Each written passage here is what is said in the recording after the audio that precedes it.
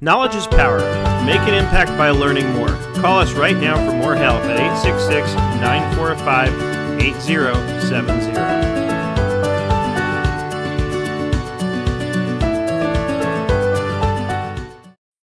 Okay, starting the recording. And I'm going to start going live on Facebook. Let's see if it works today.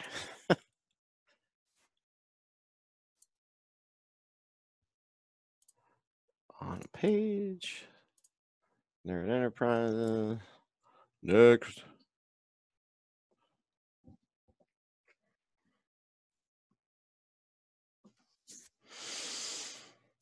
Do do do.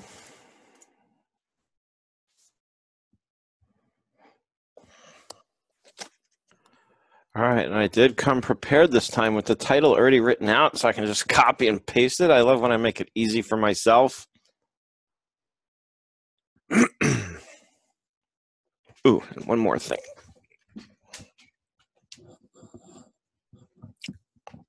Ugh.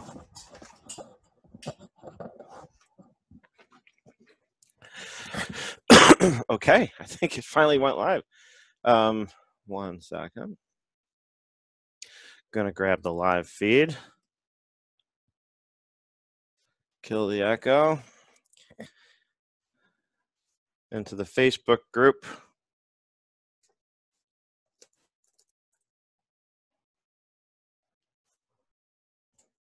Oops. Ah, where's my Evernote? Almost there.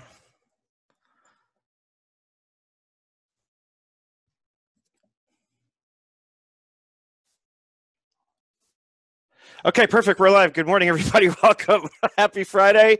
Flex your muscles. I'm going to let a few more people in. Apparently, I've stumbled onto a popular topic today. Bring on Laura Sab. We've got people chiming in in the chat. Oh my God, it's Adam. Adam's here. And Adam's on fire this week. How many blog posts? Two or three? And don't forget to unmute before you answer. Three. Three. Now, all right, so you beat me. You beat me this week. That's awesome. Well, I mean, like I said, it was my rollout week, so I'm like, if, I, if I'm going to do this, I'm just going to get a lot of momentum going. Right. And uh, next week, I'm going to start video. That's why I've been kind of getting ready with all these video questions and stuff. So I'll be doing a blog post and a video a week. And then when I get caught up on my all my stuff that I'm doing in terms of production, I'll be doing like kind of rotating, doing either two videos, two videos a week in a blog, or two blogs in a video, depending on. My goal is to have 30 blog posts and 25 videos by end of year. That's awesome. That's awesome. Do you have a Vimeo account yet or just YouTube? I don't. I just use YouTube, so I don't know how to properly use Vimeo in terms of how I would market it because I'll be putting it on YouTube anyway. I would put them in both places, and I'll tell you why. Okay. Because, well, first of all, Vimeo is sort of the more professional place for putting videos up, and especially when you want to embed them on your site. If you notice on my site, I embed them all from Vimeo, not YouTube. I put them on YouTube and I link back to my blog, and I put the link directly to the blog that has that video embedded in it in the description of the video on YouTube. But Vimeo is the one whose embed code I'm using on my blog. It just looks cleaner, it looks nicer. But here's the other thing Vimeo is a professional network. You're going to pay for a pro account, it's going to be like $200 a year. But A, they have much better monetization options on Vimeo compared to YouTube. Like I, I, I didn't even know Vimeo was oh because of the like course content. because you can do all kinds of things with videos on there. You can charge per video. You can do a pay per view video, or you can let people rent a video for a day or a month. It has all kinds of stuff built in. But here's the real kicker that I wanted to mention, and it's actually very much fresh and, and top of mind as of this morning, because when I woke up this morning, I came to my desk and I picked up my mobile device and I had some messages from Hector Garcia in Facebook Messenger telling me that YouTube closed his account down. Just like that. What the And- what? So it sounds like it's under review. They're questioning something about it. They did this to me years ago, and they came back and they just demonetized my content. They've been doing a lot of that lately. They've been doing a lot of that for years. That's the whole problem with YouTube. More and more, like recent in recent months in the last year specifically. I remember when Chris Pirillo got demonetized on YouTube, and that's when he went to Patreon and started using Patreon as his way of monetizing his content. Um, the thing is, they don't tell you what's wrong. They don't give you a chance to cure the defect. They just say, "Oh, sorry, we think you're a threat to our advertisers or whatever the language is, you know, of the week on the memo that they send out." And that's it. So, A, make sure you have all your video content backed up somewhere, right? Don't assume ever that you never need that video again. I have everything backed up on box.com. And the reason for Box specifically is for 75 bucks a month, I get unlimited total storage and bandwidth. So I can upload as much as I want and I, and I, it can accumulate to So I can any put amount. I can put that on ShareFile because I use ShareFile. sh- sh- as long as it's unlimited because the problem is the video files are huge so if you if you have a limit then you're going to hit that limit Mhm. right so i think sharefile if you, you you may be on one of their plans more recently they rolled out plans that were unlimited in terms of total storage i forget if it's total bandwidth as well Yeah. but yeah i was shocked I, and i told hector i said i would be so pissed right now Oh yeah, you've got like 700 videos. Yeah, yeah, same as me. So, but I also every video that I upload to YouTube, I also upload to Vimeo, and I also have it backed up on Box.com. What's the process for Camtasia when you're doing that? When you do multi formats? Well, when I produce a video from Camtasia, I produce it to a local folder. I never produce it directly to the CDN. CDN stands for Content Delivery Network. Mm-hmm. And so, I, yeah, and you have to render it to a local folder that's not in a shared service, kind of like how you can't have a live QuickBooks file in a Dropbox service. You can't render your your video will get corrupted in some cases. And I learned this the hard way. I rendered a video and the MP4 file never got produced. it said it was produced, but it was nowhere to be found. And then I researched the issue and found that it was because I was trying to share. I was trying to uh, process it directly to. Uh, I think it was Dropbox at that time. So just like QuickBooks, you have to produce to a local folder, and then of course once it's produced, I copy it over into, you know, like I said, Box.com in my case is where they usually wind up, um, or now where they always wind up. So and th- so then once you've got that produced, then it's just you know you drag it up to YouTube, you drag it up to Vimeo, you know, separate process. So you're basically just dragging the local files to each individual service. Yeah. I mean, Vimeo has a cool integration with Dropbox where you can designate that a particular Dropbox folder is your Vimeo folder. And anytime you drop a video in there, it will automatically upload and push it into Vimeo. But if you end up moving those videos in Dropbox to a different location, you'll get a warning that it could cause diminished quality. So, again, I defer to just directly uploading right to the content delivery network that I want it. And there's other content delivery networks, by the way, that shouldn't be ignored. Camtasia has its own screencast.com, right? So that's another place to, uh, you know, to upload your videos. There's something called Daily Motion that I had looked at some years ago. And the thing of it is, you never know which sort of, you know, uh, niche audience you might find on one of these platforms, right? So it's probably worth putting them up in multiple places and actually starting to see where you might get traction for a particular subject or just for you you know for your video content in general Well, the whole thing for me is I've been doing like SEO research like crazy. Like whenever I have spare time, whenever I want, I'm just studying the heck out of this thing. Mhm.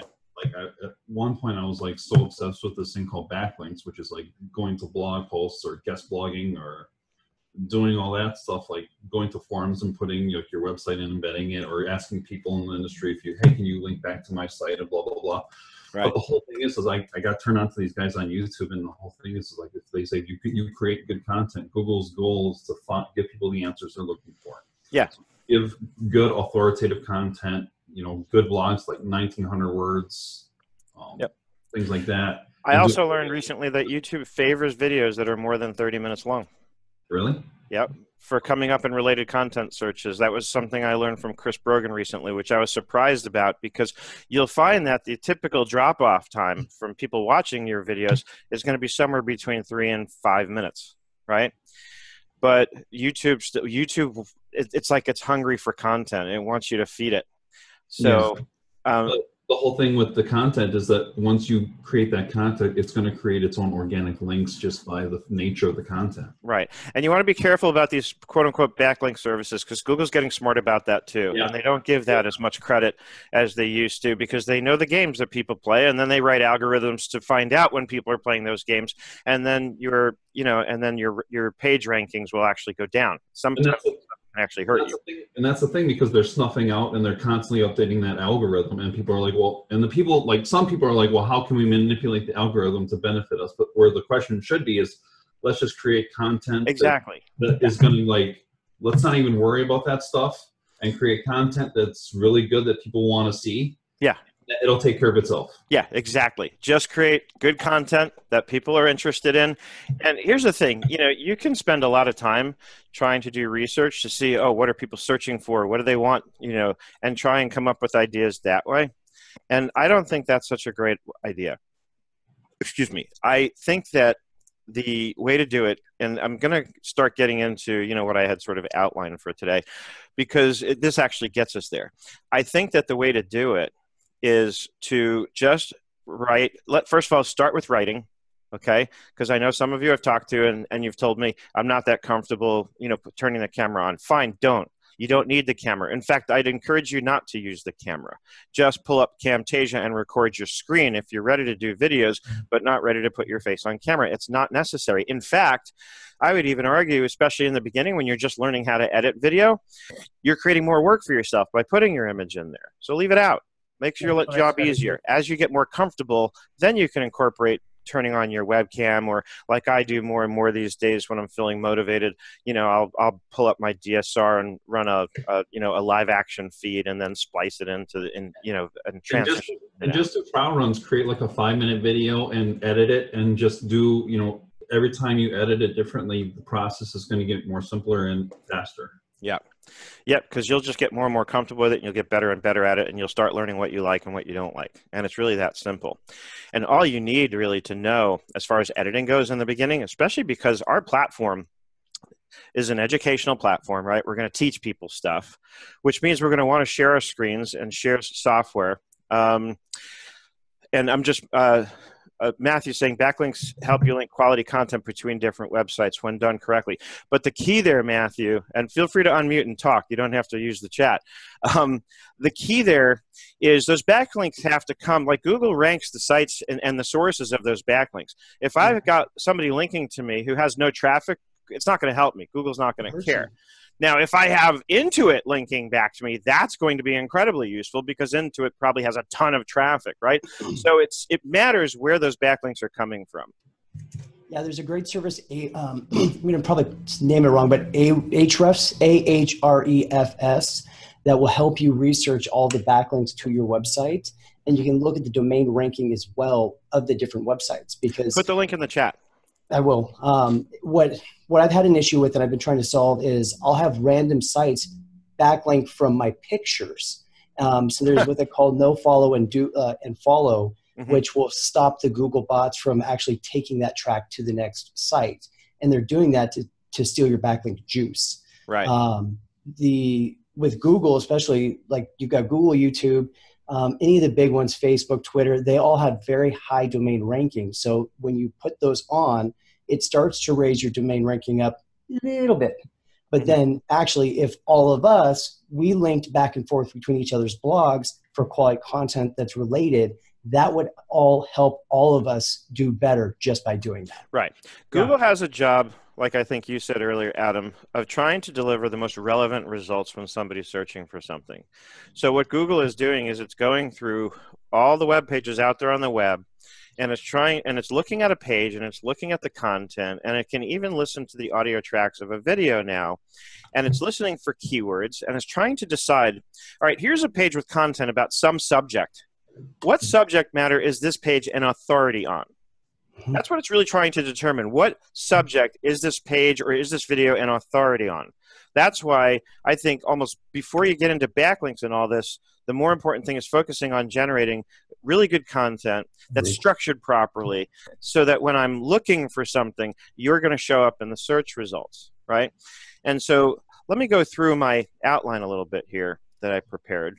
Um, because I want to back up a little bit first of all, because I know we have some people here who have yet to produce a single, their first piece of content, and then others like Adam who are really getting into it now and have produced a lot, and then people like Matthew who have been producing content for a while now, right? and then there's Laura who plays pickleball, one. And Greg, and Laura plays pickleball, and she writes about pickleball. so, all right, first of all, and Hector's going to get mad at me when he hears me say this, but I think it's important to be said for, and, and it's important for the right context. Don't worry about the equipment just yet, especially if you're new. Hector has put a lot of great resources together, helping you find really good equipment for your audio, for you know different kinds of cameras, different you know, and he's really done a great job of that. But for somebody who's new, just starting out, first of all, like I said, don't even worry about turning on your camera. And, and, and with that in mind, you don't need to worry about any camera equipment, right? Even audio wise, you just need a decent mic and focus on audio before video, right? Because if you do a video, like my, my webcam was like a hundred bucks. Yeah. Yeah, I have a Microsoft Live Cam, which used to be around 100. Now it's gotten much cheaper. So webcams are ridiculously cheap. Um, even this mic that I'm using now, which is a radio quality, like studio quality microphone and headset by Audio Technica. And you have to get a mixing board with it, right? So that it can connect to a computer because, again, it's not really made for a computer, it's made for a studio. But it, it it's USB plug and play, basically. Um, and still, the cost wasn't very much between the headset and I had to get a little Y adapter for the two channels and the mixer itself. It was about two hundred dollars. And then I got this. I got this thing that helps. And then and Adam's got a pop filter. And then I got that mic, that little thing that goes over the um, the Yeti, the black cushion. Okay. So yeah. So like this boom that I have on my headset has a built-in pop filter, and it's okay. got the foam thing on it already. And okay. and the Yeti Blue is a great mic right? Just to get good audio. The trick is keep it close and use the cardioid setting, which is the one that looks kind of like a heart, right? And gives you the Barry White voice. What's that? And it gives you a Barry White voice, the deeper voice as soon as you get closer to it. Right, right. No, and you want to be close, especially with the Yeti, because otherwise it'll pick up more background noise. Cardioid setting looks like a little heart. Sometimes I joke that it looks like a little tushy. Um, but anyway, that's the setting you want. When you get the mic, it has take the time to look at the manual because it explains the different settings and what they're for. Because there's one setting that's good if you have somebody in the room with you on the other side of the mic where it will pick up the sound from you know all around. That's omnidirectional, right? And then the cardioid is just from one side. And I don't have my Yeti here anymore now that I've got this. But a lot of people think they need to talk into the top of the mic, which is incorrect. You talk into the side of the mic the side that's got the Yeti symbol on it so that that setting where you do set it on cardioid is actually in the back. That's the side you want to be talking into because that's the side it's trying to grab the audio from.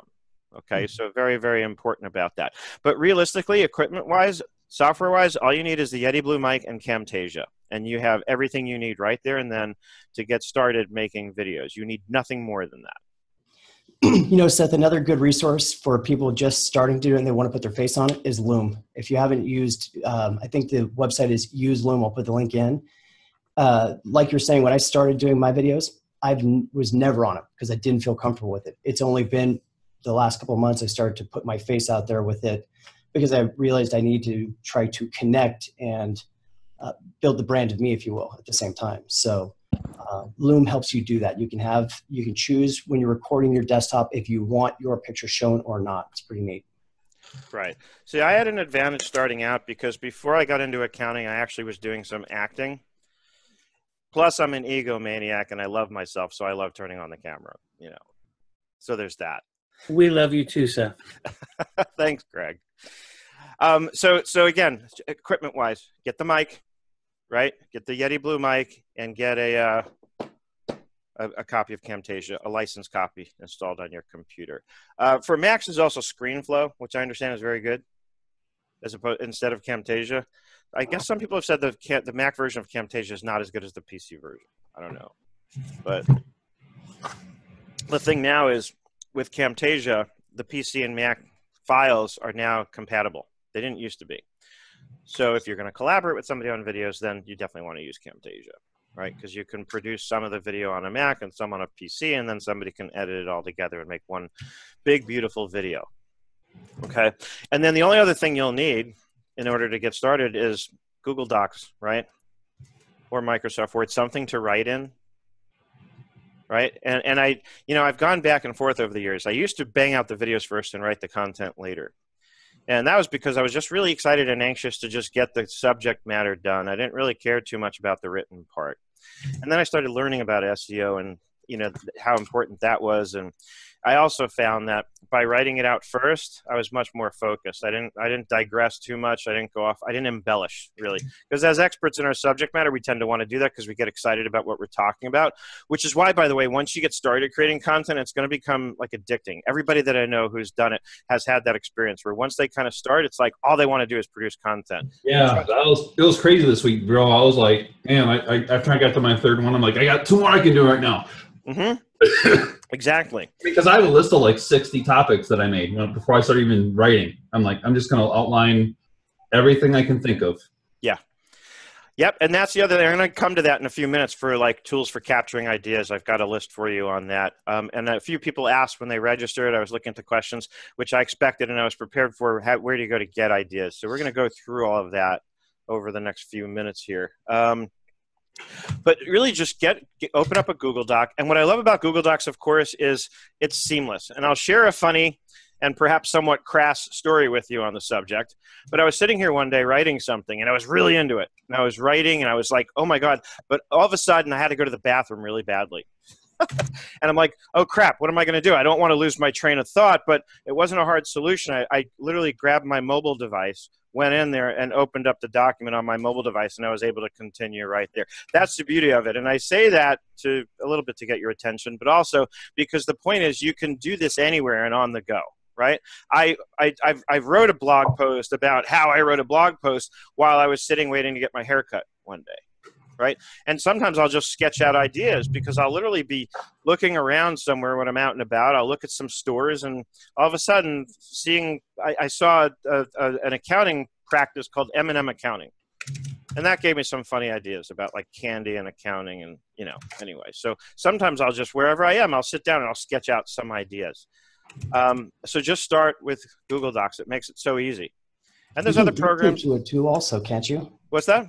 Doesn't Google Docs uh, do dictation to where you could literally like? well, you can use your voice to text that's built into your mobile device. In fact, when I'd broken my left shoulder, I was doing everything that way. I, I pinned a Google Doc to the home screen of my mobile, and I would just voice dictate there, and then I would go onto my browser version of that document, copy and paste, and paste it into an email or paste it into a text message or wherever I needed that text to go.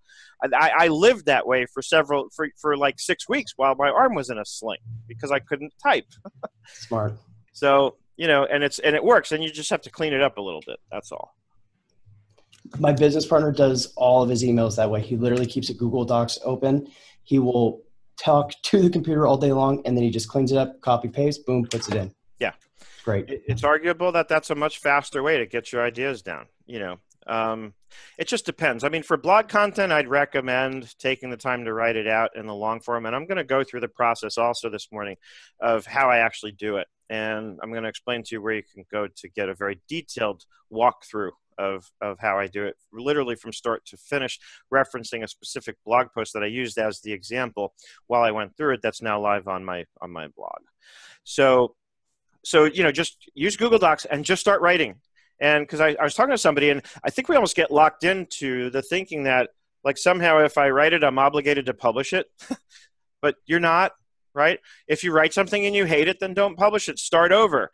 But I was talking with somebody it was you, Matthew, the other night at our meetup that you said you keep a file of stuff that you've written that you didn't use and i told you there's actually a term for that in the writing world which is it's called a swipe file so all the yeah, stuff that you write go ahead i thought it was just being an electronic hoarder i didn't realize right. it was like no, that's a thing, and it's often suggested to keep a swipe file. So ideas that you get, or maybe you've written something but you hated it, but you know the idea of it is good, so you save it in a swipe file. And if you're using Google Docs, just create a folder, call it your swipe file, and have different documents in there, or have one big document with all of it. You know, because you'll go back and and grab some of that stuff and use it, right?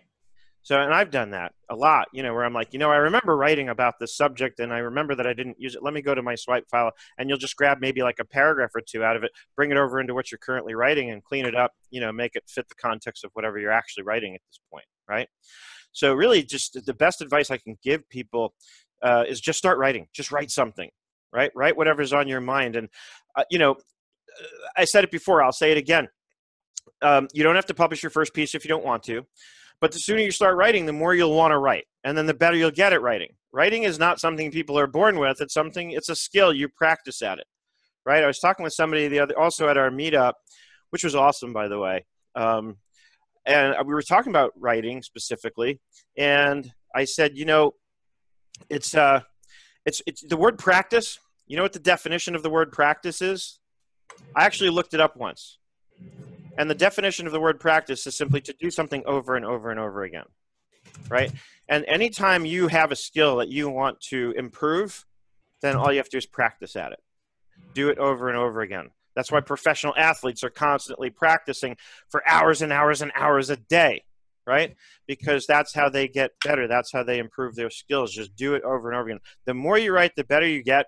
And also, I'm going to cover a tool that I use in my blog that helps me optimize my content, which also has dramatically improved my own writing. And I'll explain more about that in a few minutes. But for now, just start writing. And eh, again, as far as ideas go, write from the heart write about what gets you excited write about what you're passionate about. If you you know like this week on our 97 and up call on tuesday somebody asked me a very specific question about a use case where they needed to pull a, an account number apart and stick an extra digit in there. And in our call i showed them how using a few simple formulas in excel you can break the number up insert the digit that because she wanted to stick either a zero or a one into the account number and turn it from a four digit number to a five. So using a left nut formula and a right formula, you're able to pull it apart. Then you have a column for the digit you want to stick in. Then you use a concatenate formula to bring it all back together. I showed her how to do that. And then and a lot of people said, "Oh my God, that was like the best takeaway from the whole thing." So now I know I need to do a video on that right? Because if they liked it, then others are going to like it too. And the bottom line is if there's a subject that you're hot on, just write about it because your enthusiasm is going to come across in whatever form of content you're producing if you're excited about it. And that's going to rub off on other people. I mean, you know, many times I get feedback from people saying one of the reasons they like my videos is because they can tell I love what I'm doing. They can tell that I'm really passionate about it. But forget passion, just love what you're doing, and that's going to rub off on people. And that's going to be what I call a program of attraction, right? If I really love what I'm doing and I'm and, and it's authentic and real, and I'm not just doing it because I want to because I need to make money, but I'm doing it because I really love it, that's going to draw people in. That's going to attract people. They're going to want to be a part of that right?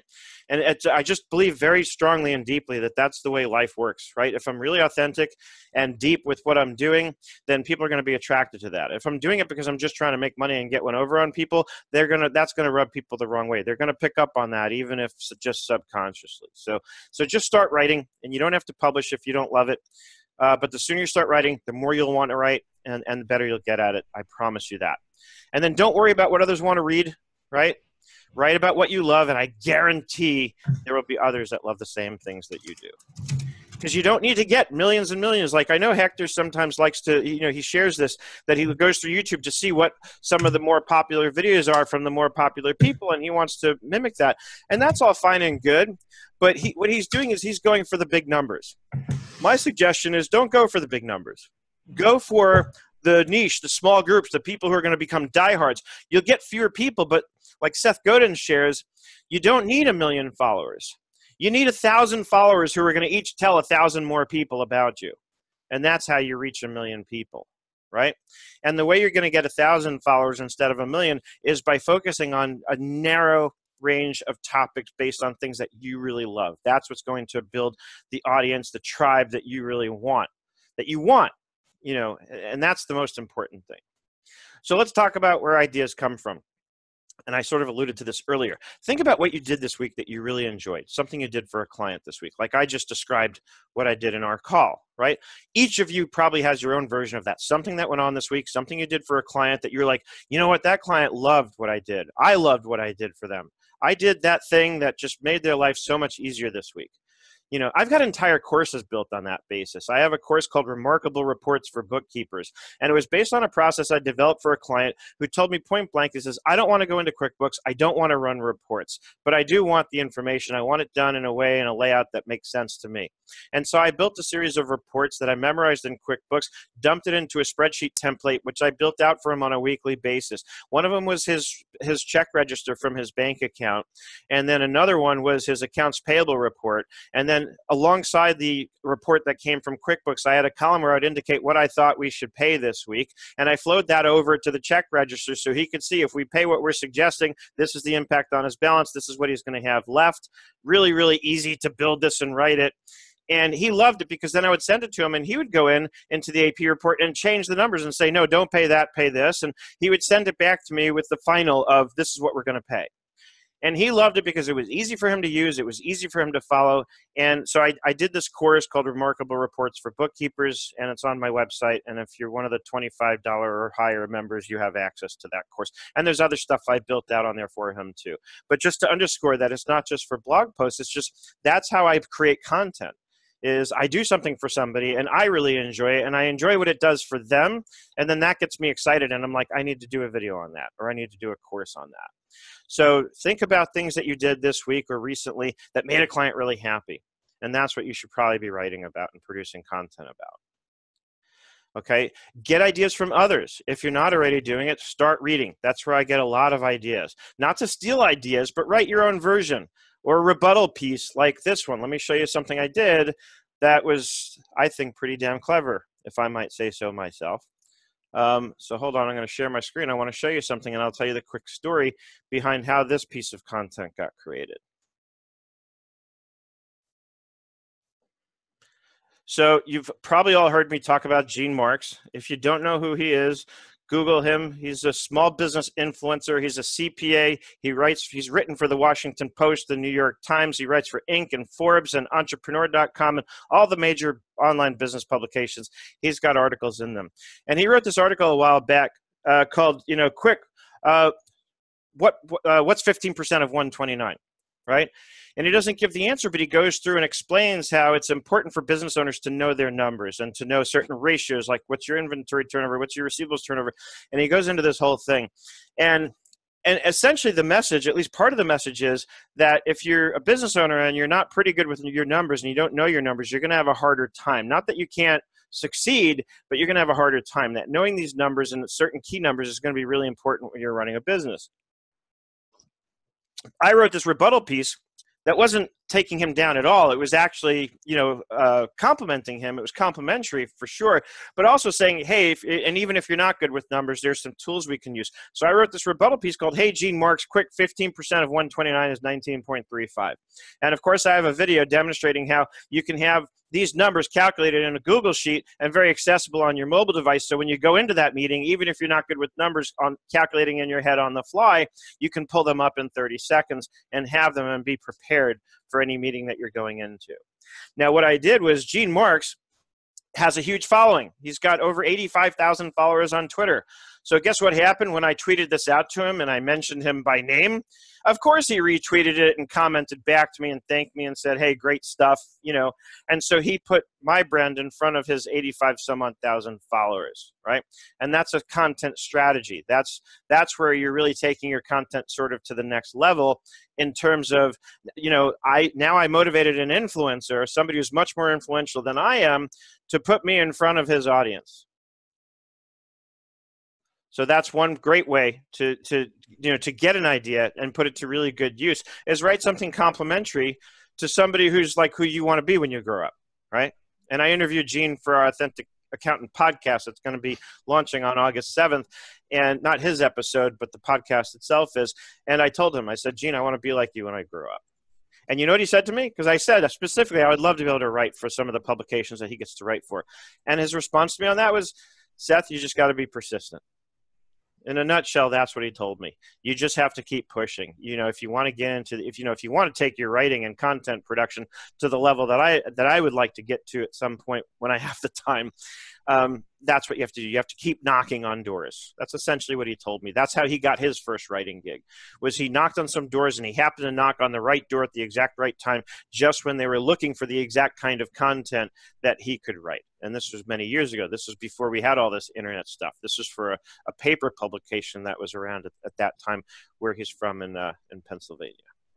One of the podcasts that I listen to talks about this kind of a, a concept where if you find somebody like Gene Marks that you you can connect to, um, provide them a couple articles that's in their sphere for them to publish themselves. Like, hey, I've got some content, thought you might be able to use it. If you give it to them, it starts to become a situation where they will like ask you for more content, and then you can get them to introduce you to the appropriate people inside of Forbes or whatever else it would be to get those opportunities. Um, right. And what you did with Gene is a perfect example of quality backlinks. Perfect mm-hmm. example. Yeah, although I don't know if he linked back to me, but I know he tweeted it and shared it. but uh, I'm just looking in the chat. So Adam says, so far I spread it all over his. Wait, did I miss a, a, a prior part to this? Marion uh, asked where I put my content. Okay, and she says, would love to know how you take your current content and strengthen it so Google recognizes you as an influence in your area. Gross and true. Oh, I, assume that was in reference to my bathroom story. um, so Adam says, so far I can spread it all over as much as I can. When I write a blog, website, Facebook, business page, personal page, I also have a group and link it there. LinkedIn, Twitter, Google Plus. Looking into maybe also Foursquare. Does Seth have an idea video I do on those? Plus YouTube, Vimeo. Thanks, Seth, and may may Instagram. Seth, do you post blogs and video to Instagram? I am starting to post blogs to Instagram. Instagram's a little tricky though because you don't get a live link in the post. You can put the link in there, but it's not going to be live. It can't be clicked on. If people are really motivated, maybe they'll open it up in their browser, which can be done, so they can copy and paste it. So here's what I do to get around that. I will post my mm-hmm. blog content on Instagram and then what I do is in the post, in every post that I push on Instagram, I will make a comment referencing that people should look for the link in my Instagram profile. And my Instagram profile, share my screen again and show you kind of my whole Instagram strategy on this. So if I do go to Instagram on the web, you can see my profile. This is the one live link you get to do on Instagram. You get one link that you can put in your profile, right? So notice where mine's going. It's going to a special page I created just for Instagram, right? It's nerdenterprises.com forward slash Instagram. So when people are on their mobile, they can tap over to my profile and they can tap this link and it's live and it will take them here. So there's two ways to go about this.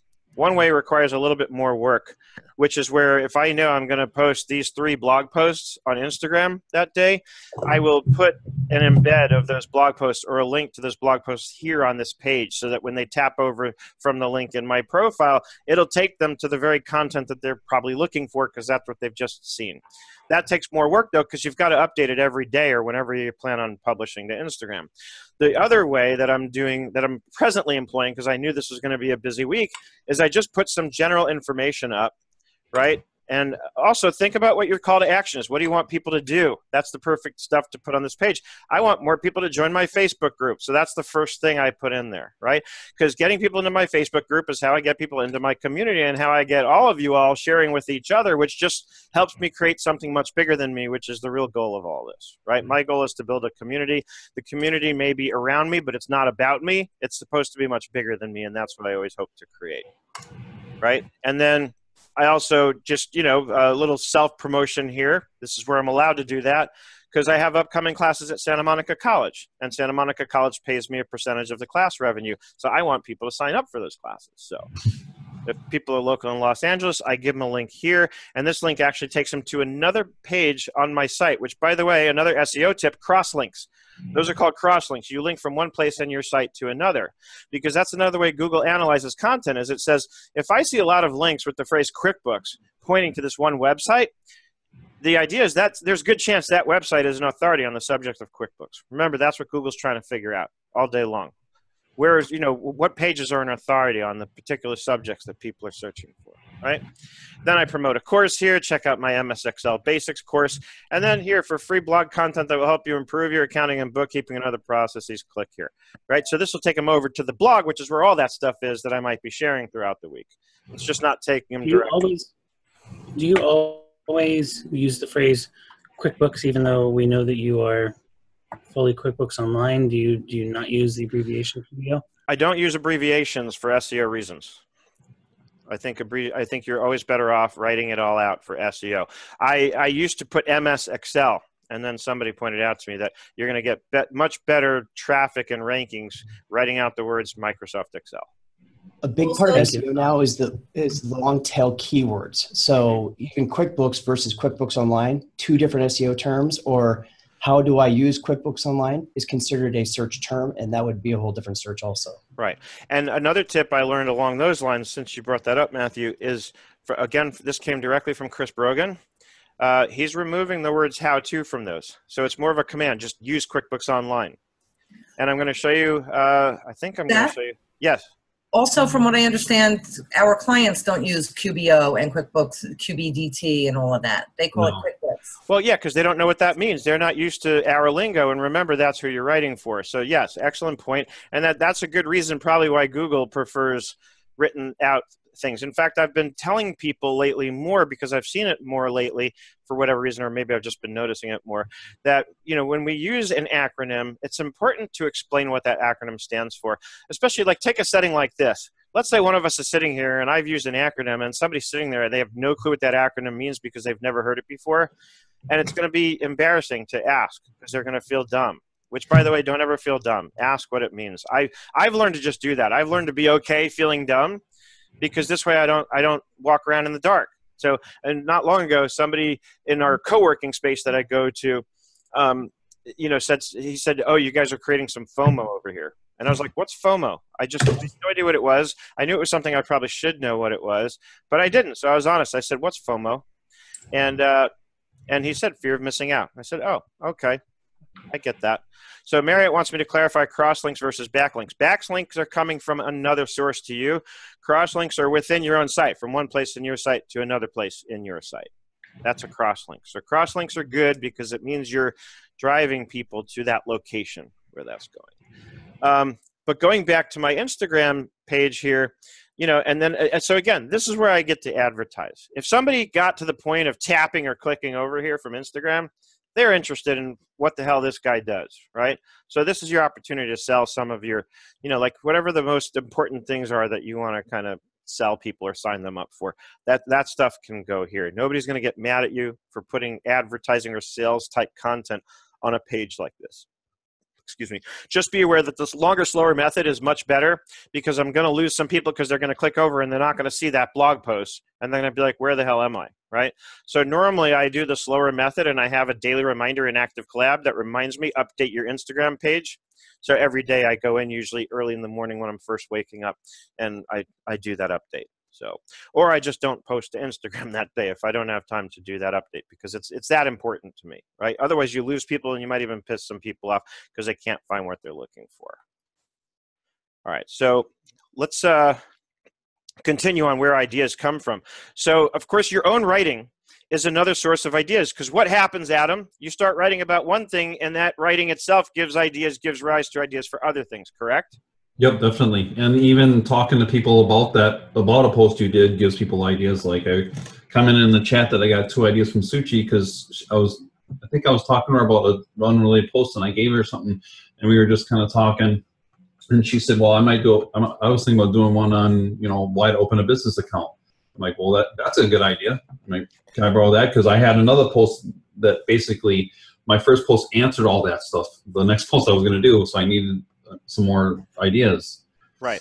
you know and then just listening to people on instagram or facebook or you know whatever just brings ideas to me And just because somebody else has done it doesn't mean that you can't or shouldn't do it. In fact, you should. You should do your own version of it. You know how many times I've tried this, but it always fails because nobody ends up doing it? Is I want to get a group of us to all write a blog post on the same topic it's interesting first of all to see everybody's different take and then we can all link to one another's blog posts so the suggestion i had a while back in our own 97 and up group was let's all do a blog post that's sort of an introduction to quickbooks ki- online kind of blog post Within and that's the same- one i used as the example in my course sorry adam go ahead within the next five posts, I'll have that up. yeah so let me know when it's up because i'll edit mine and link back to yours you All right, know? I appreciate that. and it's i would love to see us do that more of that kind of stuff as a community. And also let's post about it in the facebook group you know the between wall and main group. Matthew says i'll do it. So let's all find in fact well let's start with that one. Everybody just write your own version of an introduction to quickbooks online. Whatever you think that should look like right? And and and then just post the links in the facebook group once yours is live a so we can all read it so we can click it so we can share it and then let's all link back to one another's. Like i said i'll edit mine and link back to all of yours. And i'll just you can do it at the bottom and say here's some other resources that will help you. Basically like if you like this you're going to love these other posts right? And I, you can even say these are my colleagues perspectives on the same subject. And so we're actually doing something really cool and powerful for the audience too because we're giving them a much bigger resource than just our own blog post and our own version. And it also speaks volumes to who you are as a person that you're not like sort of selfishly trying to keep them from going to other people's stuff right? It's not about us. It's about them. It's about providing a tremendous resource for the end users for the clients the prospects whatever you want to call them right? That's so I- um, I find with with um, when I'm searching for something for a customer that's got a problem, there's not a lot of great videos out there for QuickBooks Online. there's not a lot of great content out there. Some of it's really old. It's the old, you know, the old look of it too. Sometimes.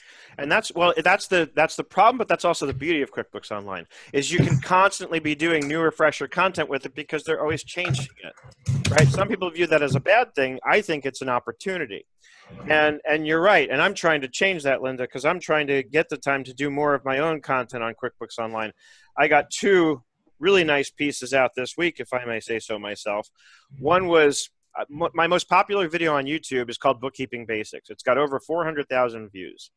And I just did the updated version of that, Bookkeeping Basics with QuickBooks Online. And it's a 30 minute video where I go through five transactions. I show T accounts that I've created in Google Sheets with a little mini trial balance that goes along with it. And I give people access to that uh, T account uh, Google spreadsheet for free in the post. And I also sort of addressed all the feedback I've gotten. That video that I was that I originally did was like 10 years old. And I've had a lot of comments and a lot of feedback. People telling me, hey, you go too fast, this and that. So I really tried to address all of that feedback, especially the negative feedback. And you know, just so just slow things down. And I also, if you watch the video, you'll see I make it a point at certain points in the video to say, hey, this is a good time to stop and go practice what I just showed you, because you're not going to learn this by just watching. You're only going to learn this by watching a piece of it, practicing what I've just shown you, and then resuming and going on to the next part. Right. So you know so so that's I, I i'm doing a reprise of all my old content i'm going through my own youtube channel searching uh, by the um, most popular right and i'm doing updated versions of all that stuff and yes quickbooks online is a wide open opportunity right now because it's ever changing justine you said you had a technical question well you're muted don't forget to unmute Hi there, how are you doing? good how are you Good. So um, you might actually hear this now. So my office space is really large, and getting quality sound is a problem. Mhm. Um, like the ceilings, I guess, are 18, 15 feet maybe. Um, so any recommendation on like soundproofing, or I was looking at like soundproofing rugs, but there's so many, you know, conflicting things out there. the interesting thing, thing the interesting piece of advice i just recently got on that because we're trying to find the perfect space to record our podcast in and we're having problems because a small room with just flat walls is very echoey and so like erica's mic will pick up my voice and vice versa. So what i was told because i've been researching this specifically is you you need to have your walls just need to be uneven. Like even having artwork hanging on the walls. Anything that will deflect sound other ways rather than directly off the wall will help the acoustics. And the other thing I think is even if you just grab the Yeti and bring it real close to your mouth, even sitting where you are right now, you might find makes a big difference if you're not already trying that. Yeah, I have a, I guess it's the snowball. It's the blue microphone. Okay. I don't know. Yeah, just try maybe moving it closer if it's not already right up there. You know, Okay. because that that Nothing on flooring. I mean, I think it, we have a lot of stuff on the walls and we have a number of windows. So I'm not sure if it's the if it's because it's wood floors with high ceilings. I was thinking it was more of a flooring issue. Right. It could be. You know, it could be. It's you know again because you and I can tell just when you talk now that that it's sort of tinny in the background, right? Right. Yeah, it's really big. Seth, Yeah. So the, Um, the, the the cheap thing is just try moving the mic closer. That's going to be the first thing to do anyway. Otherwise, you might want to find just a different room. Just play around with different rooms, or you know, or ask around, or, or if you even search on YouTube for, uh, you know, like advice on how to soundproof your office or something like that. You know, Right. Try different. YouTube. Um, I was working with a film crew, and they had they saw my my boom, and they were talking about the sound in here. And one suggestion that they had is putting a pillow in the front of me, so that it kind of absorbed the sound a little bit, and it didn't kind of echo too much. Interesting. Okay, I Mhm. like that. Interesting. Awesome. Thank So There you. you go. There you go. Okay, Um, sorry, Tiffany, just, just to cut in here. Can you, when you say in front of you, are you talking like So here or Oh, here? sorry. So I have like my my system is like I three computers that go across with my my video up above. So I have a space between my desk and my monitors. So they were suggesting just to kind of stick a pillow in there. So I don't use like a laptop that has the webcam right in front. So I have a separate one. So that they were saying that just because it would just close off that space as opposed to going into the rest of my office. Right. And speaking of the webcam that's built into your laptop, generally those are terrible quality. You generally will want to get an external USB webcam, uh, you know, for decent There's quality. some really cool Logitech ones now that it's the 930 will actually do the background removal as well inside of it. So you Right. can literally set it up and just change your whole backdrop. nice. Nice. Okay, so let's get Which back to where that, I did. Matthew? Sorry. Oh, go, no, go ahead. Go ahead. I thought we were done. Matthew, what was that one? And it's, Logitech uh, 9. it's by Logitech and it's the C930. Um, there's a couple other digits, but that should get you pretty. Put pretty it in the close. chat if you can.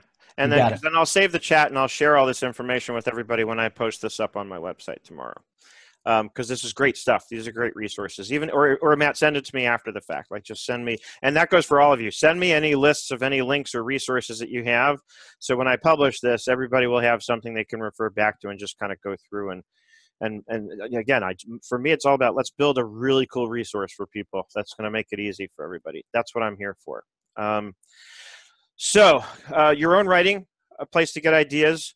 Um, again, what thing did you do recently that made you feel really good? You know, it might not even be something you did for a client specifically, but something you did that you were like, that was really cool. You know, like when I first built my template for getting Amazon sales done real quick, I, I didn't I wasn't thinking I was going to make a product that I was going to sell on my website, but once it was done, I was like, holy crap, this is awesome. And when I showed it to my client, he was like, Seth, you should be selling that for like four hundred dollars. I said, great, I'll sell it for one ninety seven. You know, and that so now I have a, a great template that I'm selling for half of what somebody else told me it was worth. So uh, another great place for content is Feedly. Does everybody here know what Feedly is? Feedly is a great content aggregator to create your own sort of magazine for stuff that you like to read. I believe I have it in my social links here, or I might even have it here, or I have it under communications. Yeah, there it is. One way or another, I've got my bookmarks organized. So here's Feedly. Let me just log in real quick. Feedly is, I think it did, no, Google didn't buy Feedly. Google got rid of Google Reader, which is what everybody used to use, and then everybody flocked to Feedly. But I feel like maybe Google then bought Feedly. I don't know. Anyway, so here it is. So you, you like something that you read on the web, I can aggregate all of it, right? So I have different categories on the left news, productivity, social media. You know, so this is, you know, again, it's like my own personal online magazine that sources all the content I like to read and it's got a great mobile app. So a lot of times, first thing in the morning, instead of reading on Facebook about, about what people ate for dinner last night, I, I actually go through my Feedly feed, and that's how because I also have news feeds here. So this is where I go to sort of educate myself on what's going on in the world. A former Google employee just became one of China's richest people. Okay, I wonder if he knows Jack Ma. And if you don't know who Jack Ma is, it's because you don't read stuff like this, and you should. Um, hold on. Jack Ma is the guy who started Alibaba, which is like Europe's answer to Amazon. Um, okay, I'm having technical difficulties here with Zoom. There we go. Here's the chat. Okay, so Matthew's posting the link. That's perfect. Um, so Feedly is a great way because also while I'm reading my Feedly feed, I get ideas. I'm like, you know what, that would make a great blog post, my version of that, or or I might create content based around my opinion about something I've read in here this morning, right? That's what it's a lot of it's about at the end of the day is sharing your opinions. And by the way, speaking of sharing your opinions, if you're not pissing somebody off at some point, you're probably not doing your job well. so so another and, and i say that really to underscore the fact that don't worry about it too much. If somebody writes a scathing remark going back to getting activity like on your youtube channel i used to get so upset when people would write negative comments and then i learned that it's actually a good thing because youtube doesn't gauge whether the commentary is positive or negative. It just sees activity and then it's gonna, you're going to be that much more likely to show up in related video results right? You know those results on the side after you're watching a video when it says oh you, you know here are the related videos I had a guy come in and call me a fat F word, and I just encouraged him to keep responding. I said, How do you really feel? And he wrote back this whole long thing, and he was actually kind of funny about it because I've learned not to take this stuff personally. And then I, uh, you know, and I just, I, I kept egging him on with like these one or two word responses. And eventually he even said, Come on, fight back, you know, put me down, tell me what an a hole I am, and so on. And I said, I am fighting back. You just haven't figured out what my game is yet. And then he wrote one more thing back, and I finally wrote back and kind of revealed what I was doing. And I said, I love you from the bottom of my keyboard. Every time you post another reply, you help my video rankings improve, you know. And then he never wrote another comment back again. so that got rid of him finally. Um, social media, same idea. Read what others are posting, get ideas, write a rebuttal post. If you see something I've written, I'd love to see your version of it, and then tell me that you did it and link to it, and I promise I'll link back to you. Um, check what is trending right? So I can go on to Twitter. My screen's still shared here. Twitter is a great place to go to see what subjects are trending. If you go to your Twitter homepage, just twitter.com, it shows up here, trends for you. And the more you interact on Twitter, the more sort of tailored this will be to what your interests are. Right, but this might give you some ideas about things you can write. Uh, and another place to go for ideas for content is Reddit. Reddit has a terrible web browser experience, but a really good mobile app. So you can go, you can actually search Reddit for QuickBooks and see what questions people are asking about QuickBooks, and then write your own content that addresses the answers to those questions. Right. So check what's trending. Also, Google Alerts. All right, here's my Google Alert email that I got today. Got this morning. So of course I have it searching for my brand because I want to know about it if my brand gets mentioned anywhere on the web. So Google Alerts lets me know that. And since real estate is such a hot topic for me, I have real estate accounting as another Google alert term that I use. And so I can go through this and see, I mean, this is getting huge, these private cloud environments. And so when I saw this, I said, Ooh, I'm intrigued by this. But it turned out this was actually just an ad, but still, it gave me an idea. I'm going to start doing some research about how people may be suggesting that real estate professionals start using private cloud services, things like Abacus Next, because if that's going to be a thing, I want to get ahead of that and start writing the content and be the leader in that industry for people who want to do that.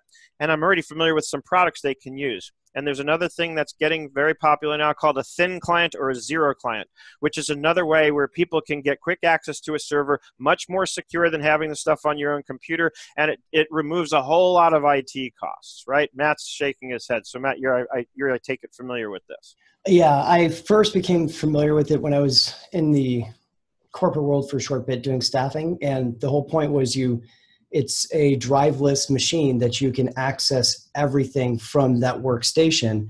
And when you're logging in it's not unique to one person. So anybody can go to the thin client and use it. So if you've got a larger team it's perfect. Yeah. Um, the the resources can be the harder part. If you've got a large large team you need a bigger server. So the cost wise is going to be a little bit more but it's generally more efficient and it's definitely much more secure yeah, it's going to run you maybe 65 bucks per month per user, and these services won't take less than 10 users. And a printer uses a user and uh, I think a mail server or whatever. So, so you're going to use up at least two users that aren't even people right off the bat. So um, but it's definitely something for us as accounting professionals to be aware of because it's almost like, you know, we've gone from desktop to cloud. And then at this point, we're kind of looking at, you know, these hosted solutions as going backwards for some of us at this point. But with this idea of the thin client or zero client, it's almost coming back that way.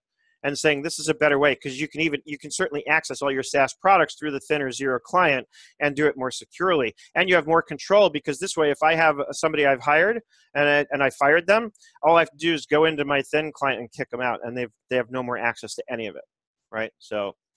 So there's a lot to be said about that. So that's and I brought that up just to say, and there's your example of how I use Google Alerts to get ideas frequently. I So actually, the Google Alerts is brand new to me, and I'm pretty Google centric. So oh, Google Alerts has been around forever. Google Right. Google where Alerts I get to it? Um, so if you just go to, I guess it's, uh, I think it's alerts.google.com. And I assume is it it's free, right? It is free. Yeah, it's a free part of, uh, or if you just Google Google Alerts, you'll see it. And make sure you're signed into your Google account, and you'll be able to access it. And it's really easy. Um, like here's mine, and I don't have a lot in this. I probably should spend some more time on it. But you can see I've got accounting for real estate, QuickBooks Online for real estate, and real estate accounting. And I use a a lot of service called Brand Mentions, but I have to pay for it. And what I've been able to do is for certain things like this, there's there's a website called AppSumo, which is it's Yeah. like um, a lot of startups, a lot of companies that are trying to get their product known, so you can get a lifetime deal for different products for like forty nine dollars, and it's provided me a lot of really good marketing tools because I don't want to have to pay you know fifty bucks every single month because most of these are fifty to two hundred dollars a month Yeah. to, to uh, for brand reputation. Yeah, and a lot of people love AppSumo. I'm familiar with that. Um, there's also a great website called uh, BuzzSumo, which gives you great research on social media and stats. Buzz, B U Z Z. Uh, so, do I have resources on Camtasia training? Do I ever? So, uh, we're actually running out of time. So, let me rip through this really quick, and I'm going to come to that. So, if you can stick with me for like five more minutes, and I'll get I'm just going to say hell yes. Uh, yeah. Okay. So thank you, Laura. All right. So next, tools for capturing ideas.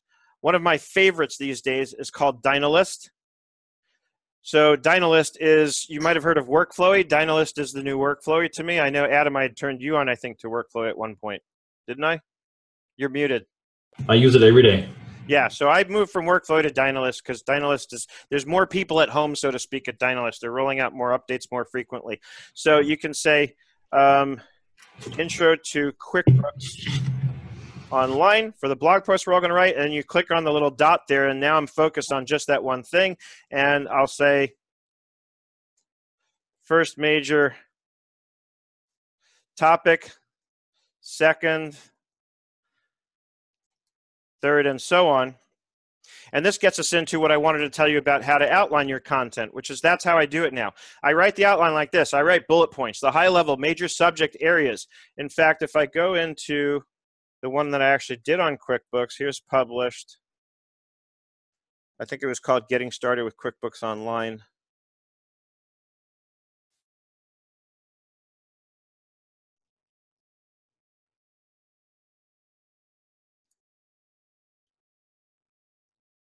I wonder what I did with it. Maybe it's not. That's weird because I it should have been here. Um, well, let's do a different one that I recently did. Nope, not a good example.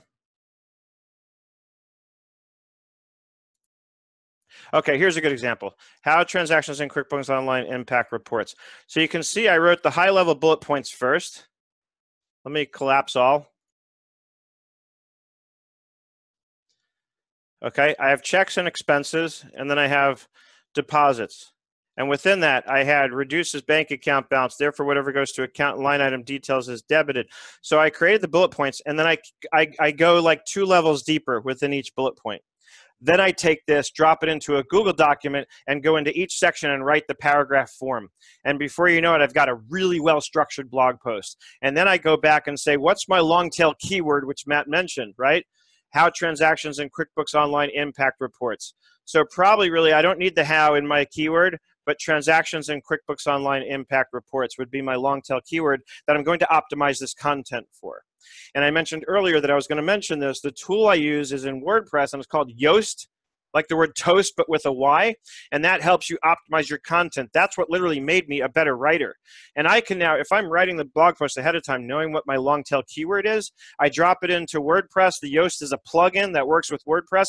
And oftentimes I'm already optimized for you know readability and SEO. There's two areas that you want to optimize for. Readability means it's really easy to read, even though we might be writing to a, a, a, a more than average intelligence audience.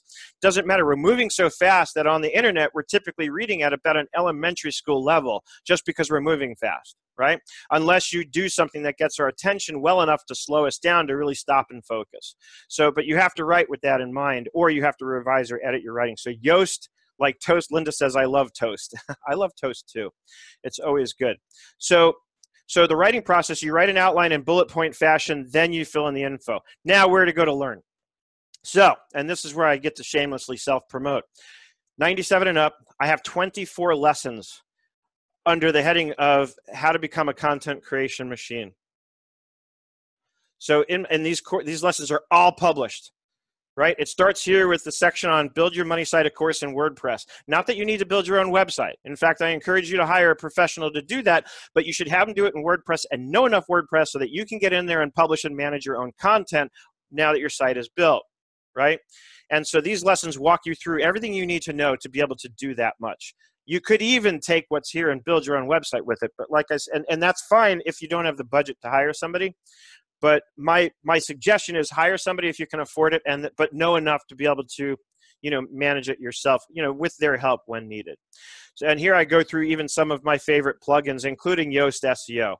And in the Yoast plugin, I walk you through the entire process. I take my content on Introduction to QuickBooks Online and I optimize it right in front of you. It's like a 40 minute video because I actually show you where it's scoring me poorly and how I go through it and improve the score. And Yoast does a beautiful job. They even give you links that take you over to their blog that teach you the difference between writing in an active voice versus a passive voice. And the trick there is you you want to minimize the amount of sentence structure that's written in a passive voice. So there's lots of great things you'll learn about Yoast SEO, and I walk you through exactly how to do it.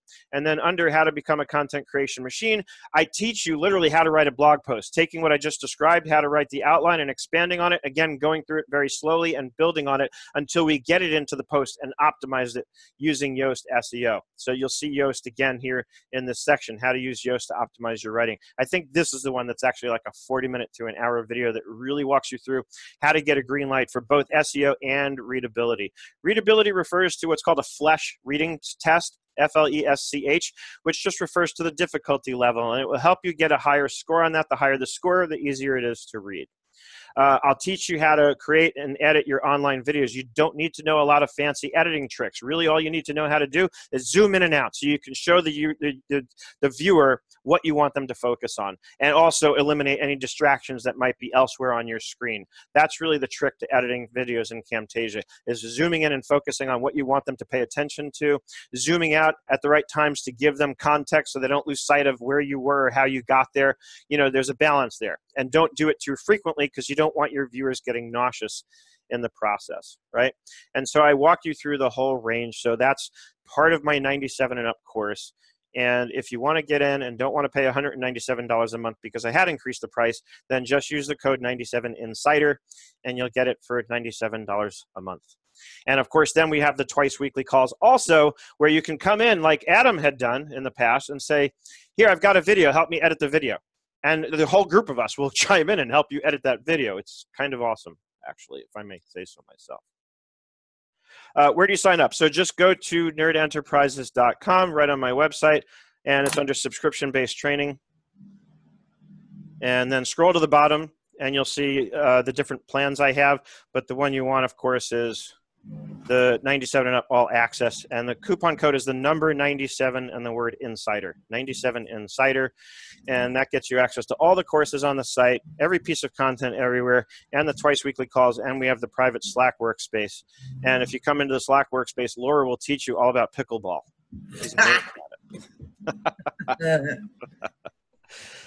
So uh, but, Boston Slack. Kidding aside, once you get in, this is your course that's written just for you. This is the course I was just referring to is Accounting Business Academy, my 97 and up project. So you click in here, and here's where all those lessons are that I was telling you about. Of course, I encourage you to run through them all in order, starting from the beginning, because I have a whole series of exercises on time management that have proven to be really good in setting goals. But as you scroll down the list of lessons here, you'll find all the ones I just showed you on WordPress and how to create content.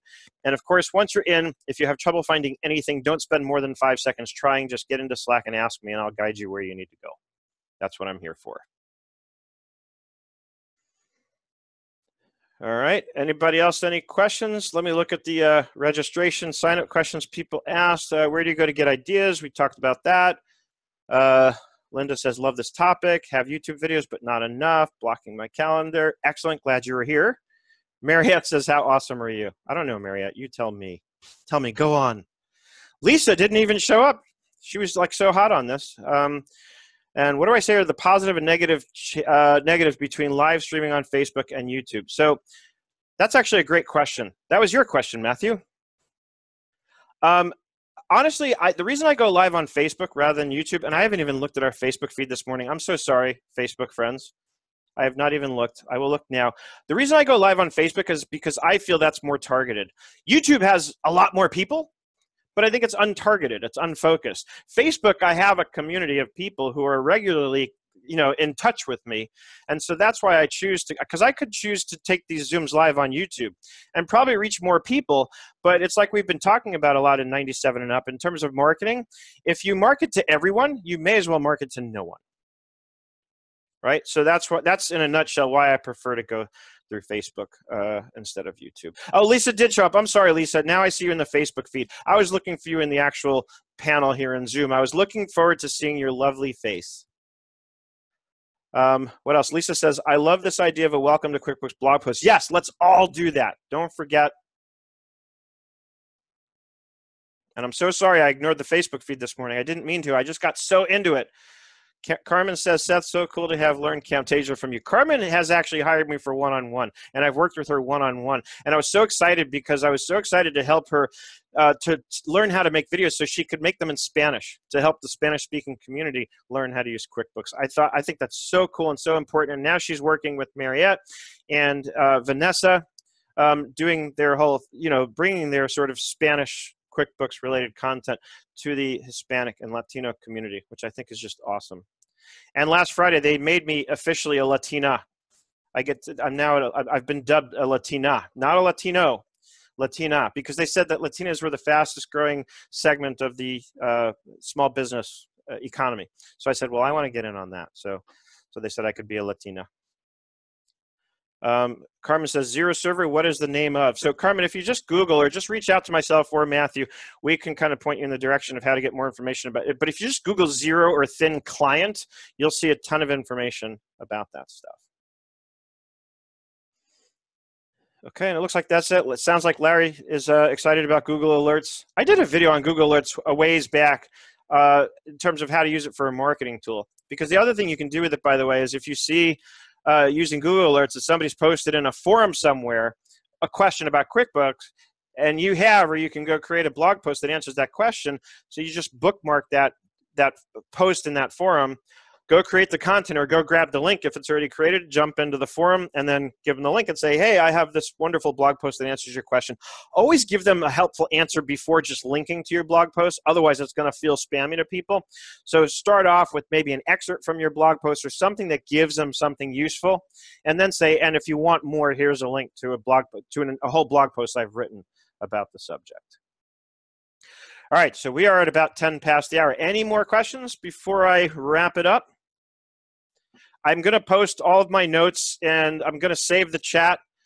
Um, and I'm going to do that now. So if you have more resources that you want to share that you think will be useful, please send them to me and I will make sure they get published. And of course, I will give you credit and link back to your website uh, and say, you know, here's the stuff that Matthew submitted. You can find Matthew's information on his website you know so just give me the information i'll make sure people know where it came from and i'll make this a great resource for people to come back to once i have it posted on my website which should happen at some point tomorrow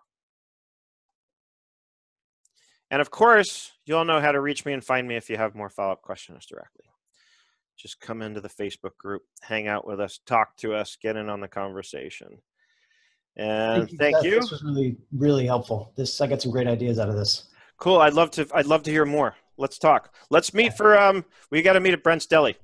Yes, yes. Okay, we'll make a plan. Okay. All right. By the way, everybody, Matthew lives kind of near me. We had an amazing dinner conversation recently. I almost caused Matthew to miss his flight to New York. It would have been worth it. It's okay. Totally would have been worth it. I appreciate you saying that. All right, everybody. Don't forget Genius Hangouts later today. SBAA Small Business Accounting Advisors on Facebook. Join her group, join her chat. It's always sure to be fun. And I will see you all on the other side. I'm heading off to my co working space next to record another podcast from the Authentic Accountant episodes.